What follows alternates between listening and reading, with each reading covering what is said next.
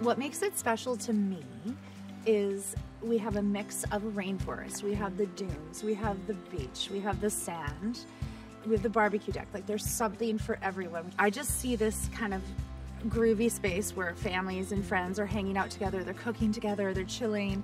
You can chill in a hammock or you can go for a run on the beach. You can go for a tour. We just want it to be whatever you make it. With all the technology in the world, people are just constantly have cell phones and computers and everything. If you come here, you can have a little bit of that, but you can also just totally unhook. It's like come chill. Mm-hmm. If you don't want to chill, there's many adventures that are possible for us to organize for you. We picked this prospector style of tent for a number of reasons. Number one, we really like the scale. They are 16 by 20 foot, which means we have 320 square feet.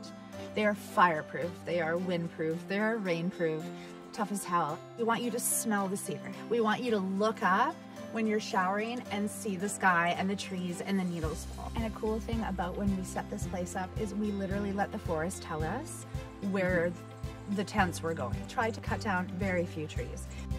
We saw this from the beginning and it's coming to fruition. To share our home with other yeah. people in this way, we're really excited to let people that have never been here see it and really see it.